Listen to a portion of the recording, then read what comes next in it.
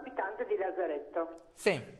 Io volevo chiedere alla signora Marzi se è vera la notizia che stanno restaurando la caserma per ospitare 60-70 immigrati, solo, solo uomini. Ah, eh, la struttura della quale parla la signora è eh, effettivamente una casermetta, eh, una caserma non così grande, eh, i numeri dei quali eh, si può pensare di parlare per, per l'accoglienza in quella caserma sono eh, decisamente inferiori, nel senso che si è parlato di 40-50 eh, profughi eh, da poter ospitare lì, ma soprattutto eh, ricordo alla signora che credo eh, abbia sentito più volte dire questa cosa, eh, la scelta di quel luogo non è stata assolutamente una scelta partita dal comune di Muggia.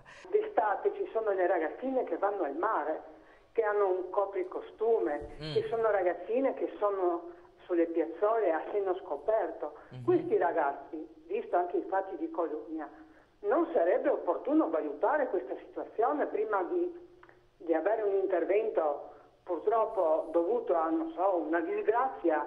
Eh, il sindaco ha più volte incontrato eh, il prefetto. Mm eh, per, eh, per, dare eh, la nostra opinione negativa proprio sulla scelta di quel luogo, eh, proprio per i motivi per, eh, che, che, ha citato la signora, a, che ci, ha citato la signora no?